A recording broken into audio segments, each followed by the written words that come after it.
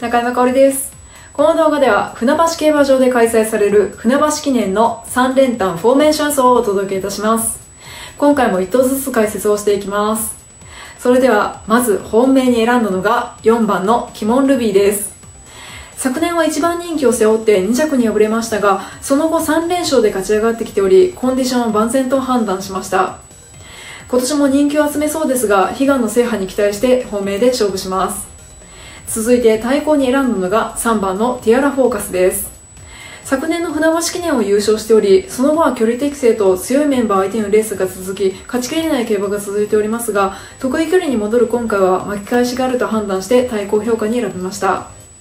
次に3番手評価に選んだのが8番のプライルートです。前走は新馬戦を含む3度目の 1000m 戦で0.5秒差で優勝したレース内容を評価しました。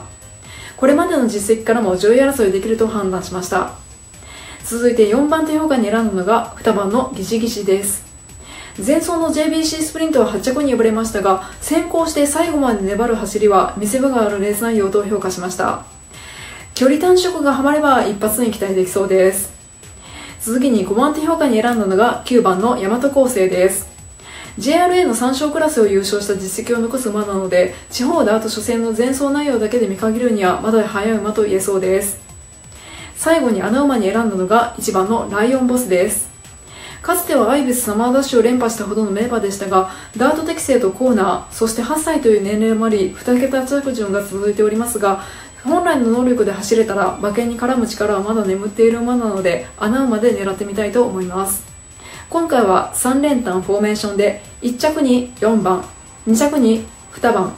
3番8番3着に1番3番8番9番。以上の組み合わせで3連単フォーメーション10点で勝負したいと思います。